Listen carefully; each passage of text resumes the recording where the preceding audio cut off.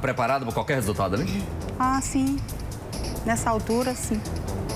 Elisângela, infelizmente nem todos os resultados que a gente traz aqui é o que a gente queria, é o que você queria, mas se prepara que a Luzia vai trazer a notícia agora. A Marlene é ou não é sua irmã?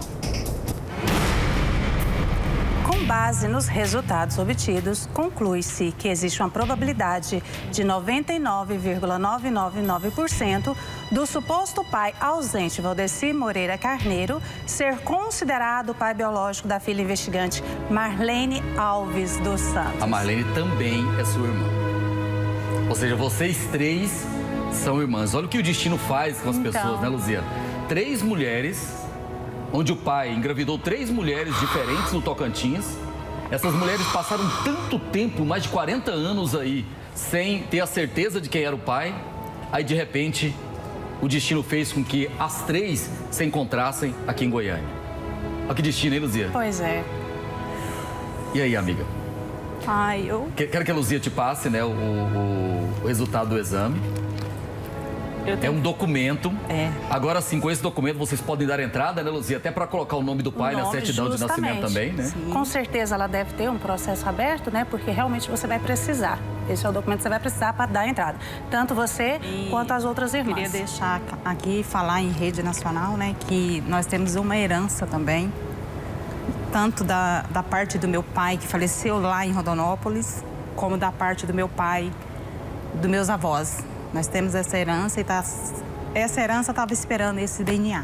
Então, na verdade, esse DNA, além de unir essas três famílias, né? Essa Uhum. família de três irmãs aí, vai resolver um problema judicial também. Vai.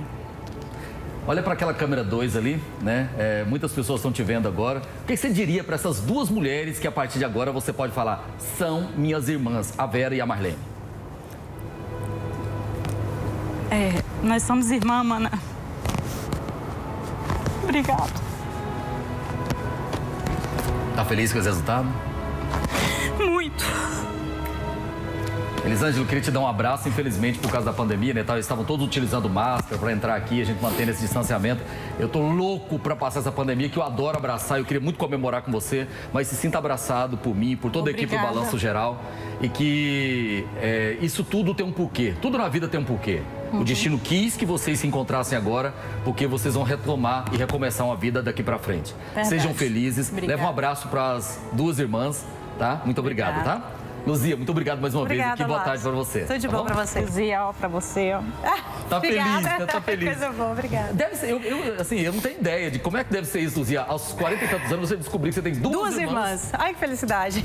Meu Deus, né? Festa demais, né? Pode comemorar, vocês são irmãs, tá bom? Obrigada. Obrigado. Obrigada viu? mesmo.